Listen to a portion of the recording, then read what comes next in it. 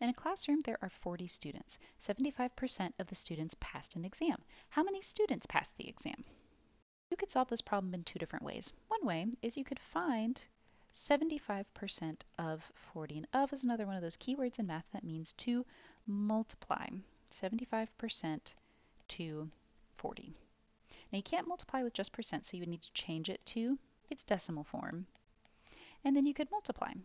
So if you like multiplying and you think you can do it fast, then this is a good method for you. The other way you could do it, since this is uh, a very neat and tidy percent that is equivalent to a common fraction that we use, uh, we could just use that fraction instead of the percentage. So 75% is the same as 3 fourths.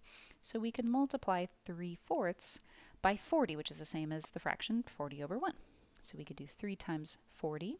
And actually, before we do that, we can look diagonally and see that 40 and 4 both have a common factor of 4. So if we factor out 4 from 4, we are left with 1. If we factor out 4 from 40, we're left with 10. So now this fraction becomes 3 over 1 times 10 over 1, which would give us 30, making C our correct answer.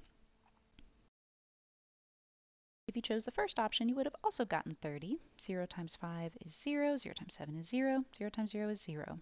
Put placeholder, 4 times 5 is 20, 4 times 7 is 28, plus 2 is 30.